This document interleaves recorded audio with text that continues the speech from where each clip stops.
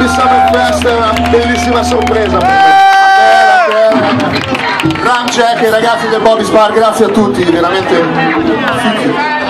Eh, facciamo un pezzo che dedichiamo a chi ha la vita dura, si chiama Bad Juju.